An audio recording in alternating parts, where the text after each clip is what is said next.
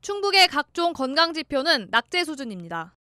적절한 치료를 받았더라면 피할 수 있었던 사망을 의미하는 치료 가능 사망률은 서울보다 31% 높은 58.5명으로 전국에서 가장 많았습니다. 나이가 사망률에 미치는 영향을 제거한 연령 표 준화 사망률도 충북은 단연 전국에서 가장 높습니다. 시군별 편차는 더욱 심각합니다.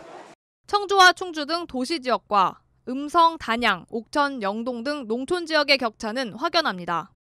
서울 강남과 비교하면 사는 곳에 따라 제때 치료받지 못해 사망하는 환자가 무려 3배나 벌어집니다. 예방 가능한 질병을 제때 치료받지 못해 입원하는 비율 역시 전국 최상위 수준입니다. 이미 초고령 사회에 접어든 충북의 의료 공백은 더욱 가속화할 전망. 실제 입원 환자 증가세도 전국에서 가장 가파른 모습을 보입니다. 구매력이 있는 대도시 지역에 자원이 몰립니다. 병원이라든지 의료 인력이 이송이라든지 아니면 병원의 인프라가 충분하지 못해서 사망률에 지역 간 격차가 발생합니다. 갈수록 벌어지는 의료 격차로 인한 피해는 주민들에게 고스란히 돌아가고 있습니다. KBS 뉴스 이유진입니다.